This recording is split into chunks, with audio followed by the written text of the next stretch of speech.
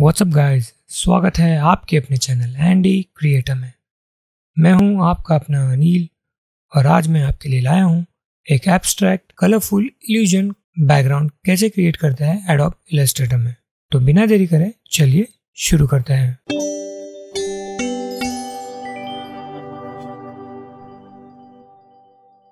तो गाइज़ मैंने आर्टबोर्ड लिया हुआ है 1920 विड्थ में और 1080 हाइट में।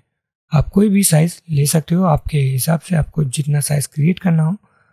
तो फ़र्स्ट मैं एक एलिप्स क्रिएट कर लेता हूँ। इलिप्स टूल ले लेता हूँ फ़र्स्ट एलिप्स टूल का शॉर्टकट है एल यहाँ पे एल प्रेस करते हैं, ये टूल एक्टिवेट हो चुका है और यहाँ पे मैं क्लिक कर लेता हूँ। और इसका साइज़ देते हैं हम 500 पिक्सल्स बाय 500 पिक्सल्स और इसे ओके करते हैं। और फ़िलहाल ये ब्लैक एंड वाइट में आ चुका है। तो फ़र्स्ट हम इसके फील को नन करते हैं। यहाँ पे फील है, इसको नन करते हैं। और इसके स्ट्रोक को वेट बढ़ा के टेन करते हैं। और इस स्ट्रोक को हम अभी कलर देंगे, ये वाला ग्रेडियंट तो ये वाला ग्रेडियंट ऑलरेडी यहाँ पे है तो हम सिलेक्ट करते हैं स्ट्रोक और ये ग्रेडियंट अप्लाई करते हैं। और एज इट इज़ लीनियर ही रखेंगे। और इसको हम फ़र्स्ट सर्कल को सेंटर अलाइन करते हैं। तो ये हम एक शेप क्रिएट कर चुके हैं। अब इसे सिलेक्ट करते हैं। इफ़ेक्ट में जाते हैं। डिसर्ट एंड ट्रांसफॉर्म और ट्रांसफॉर्म दे देते हैं। और यहाँ पे हम कुछ फिगर्स देंगे जिससे हम कुछ एक इफ़ेक्ट क्रिएट करेंगे। 96, 96 और यहाँ पे हम कॉपीज देंगे 70 तो ये कुछ इस तरह से डिस्क जैसा एक इफ़ेक्ट क्रिएट होगा। और इसको हम यहाँ पे एंगल लेंगे। Twenty three. और इसे हम ओके करते हैं। तो और एक इफ़ेक्ट इस पर अप्लाई करेंगे इफ़ेक्ट में जाते हैं। डिसोर्ट एंड ट्रांसफॉर्म जैग देते हैं। यहाँ पे, हम यहाँ पे जो रिक्स पर सेगमेंट है, वो हम सेवन देते हैं। और यहाँ पे आपको ज़्यादा कम करना हो तो आप कर सकते हो। मैं ट्वेल्व रखता हूँ। सिक्सटीन रखते हैं और इसे स्मूथ रखते हैं और इसे ओके करते हैं। तो गाइज़ ये इफ़ेक्ट तो रेडी हो चुका है। पर मैं इसे अगर छोटा बड़ा करूँ, देखिए अब मैं इसे बड़ा कर रहा हूँ तो यहाँ पे गैप्स नज़र आ रहे हैं। तो इसे मैं अंडू करता हूँ, फिर ऑब्जेक्ट में जाता हूँ एक्सपांड अपीरियंस करते हैं। फिर से एक बार एक्सपांड करते हैं इसे।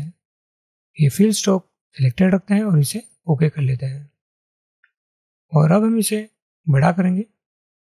देखिए, मैं पहले छोटा कर लेता हूँ, हार्डबोर्ड को, और यहाँ पे देखिए, इसे बड़ा कर लिया।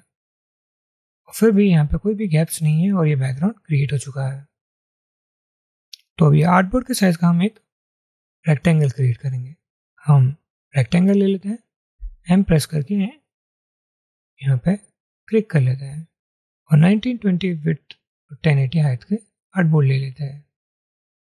ये सेम ग्रेडियंट सिलेक्ट कलर दिखा रहा है क्योंकि हमने जो बैकग्राउंड क्रिएट किया है वो ये सेम कलर का है। तो वो भी सिलेक्टेड है, इसलिए दिखा रहा है वो। और इसे आर्टबोर्ड से अलाइन कर लेते हैं। और कंट्रोल ऑल करके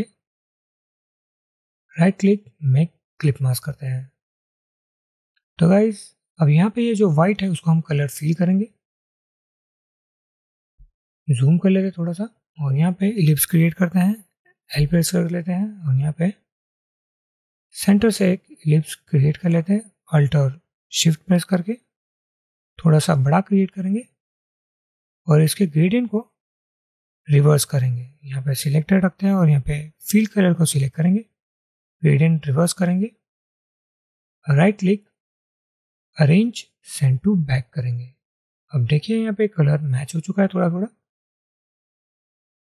तो गाइज़ हमारा ये बैकग्राउंड रेडी हो चुका है और आशा करता हूँ कि आपको ये बैकग्राउंड इफ़ेक्ट बहुत अच्छा लगा होगा। और अगर आपने इससे कुछ सीखा हो तो प्लीज़ लाइक करें कमेंट करें और ज़्यादा से ज़्यादा लोगों तक शेयर करें ताकि वो भी इस तरह के क्रिएटिव क्रिएटिव डिज़ाइंस बनाना सीख सके। तब तक के लिए ज़्यादा से ज़्यादा प्रैक्टिस करें और इमेजिन करके कुछ क्रिएट करने की कोशिश करें। थैंक यू फॉर वॉचिंग धन्यवाद। जय हिंद।